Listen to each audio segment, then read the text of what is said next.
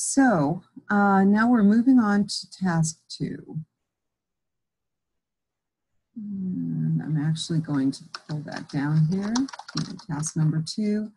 And for this task, our boss would like us to create a paid invoice table that contains five columns.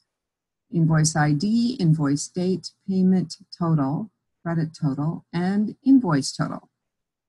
They only want invoices with a current balance of zero added to the table. So to get the current balance, we're going to have to take invoice total minus payment total minus credit total and check to see if it's zero.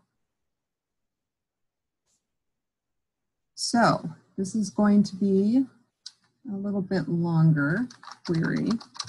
So we're going to do a select and we are selecting invoice ID, invoice date,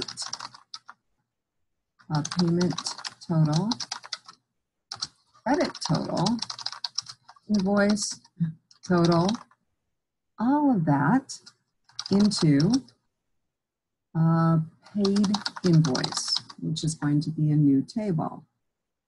And these little squiggles are happening because we haven't told it where we're getting the data from. So once we put from invoices, it should be happy and they should go away. And now we have to give it that constraint where we've got the balance is equal to zero. So we have to say where, and then we've got invoice total minus payment total minus credit total equals zero.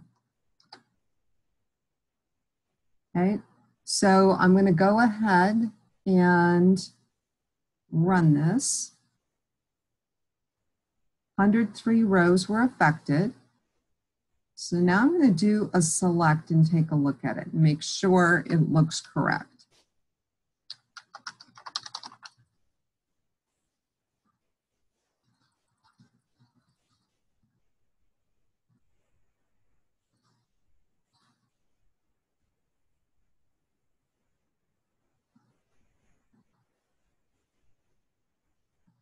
So how do we know that this worked, worked properly?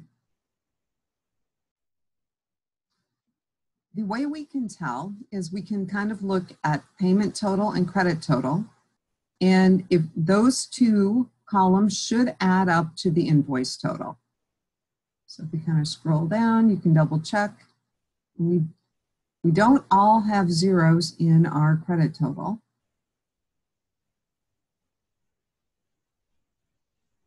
Yeah, so this is 21,221 and we're adding like 2,295, so about 23,000 is correct. A little easier math on this one. Uh, 1,762, you're adding 200, so we've got 1,962. So that does look correct. I'm gonna go ahead and move my closing comment down. And we are going to be moving on to task three.